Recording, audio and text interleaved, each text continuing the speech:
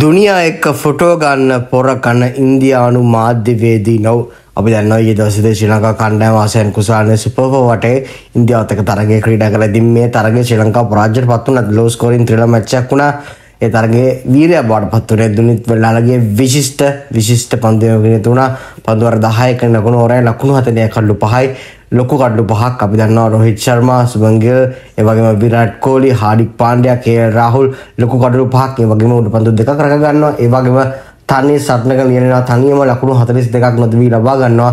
ශ්‍රී ලංකාව ජයග්‍රහණය කර අරගෙන යන තමයි ඔහු කොහොම හරි මාන බැලුවේ. නමුත් අවසානයේදී අවාසනාවන්තයේදී අපිට පරාජයට පත් වෙන්න වුණා. ඉතින් ප්‍රෙස් කන්ෆරන්ස් එකක් තියෙනවා. ප්‍රෙස් කන්ෆරන්ස් එකෙන් පස්සේ අපි දැක්කා මේ අස මම වීඩියෝ එක දාලා තියෙනවා TikTok වල.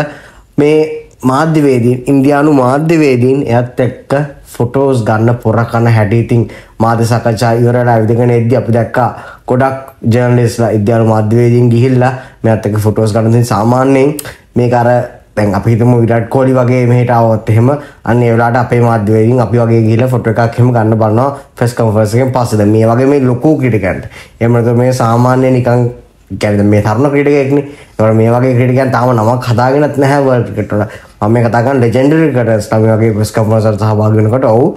ඒක සාමාන්‍ය නෝමල් දෙයක්. අපයි දැ මේ වගේ තරුණ ක්‍රඩකෙක් තම අවුරුදු විස්සයි. තාම තරක පහලක්පත් ක්‍රඩා කරන ඉතින් ඒ වගේ ක්‍රඩකෙක්ට මෙච්චර ටේෂනයක් ඉන්දියාවලින් දෙනවා කියලා ගැන මේ අපි බිලනටක් ගැනම කතාගන කතගන්න ඉන්දියාව කන ලෝක ඉන්න බලවත්ම රට ක්‍රිකට් පලින් අයිසිසේකත් ඉන්දියන ක්‍රිකට් කවන්සිටිකට යටත්ව තමයි ඉන්න. ඉතින් ඒ වගේ තැනකින් මේ වගේ දෙයක් මේ කොල්ලට හම්බෙනවා කියලා කියන්නේ එක හිතාගන්න වැරදි මම කිව්වා කණ්ඩුත් මං කොහොම IPL ටීම්ස් වලින් මෙයාගෙන දාලා තියෙනවා. ඉතින් සමහරට IPL උනත් යන්න පුළුවන් අවස්ථාවක් මේ කොල්ලට හම්බ වෙයි කියලා. ඉතින් බලන් ඉම්මු ඉස්සරහට මොකද වෙන්නේ කියලා තුනිත් වෙලාලගේ අපි දන්නවා පාකිස්තාන තරග අපේ අනිවාර්යයෙන්ම ජයග්‍රහණය කරන්න ඕනේ. ඒක වැස්සොත් අපි ෆයිනල් යනවා. නමුත් ජයග්‍රහණය කරොත් අපි ඒත් ෆයිනල් යන පරාද වෙන්න බෑ.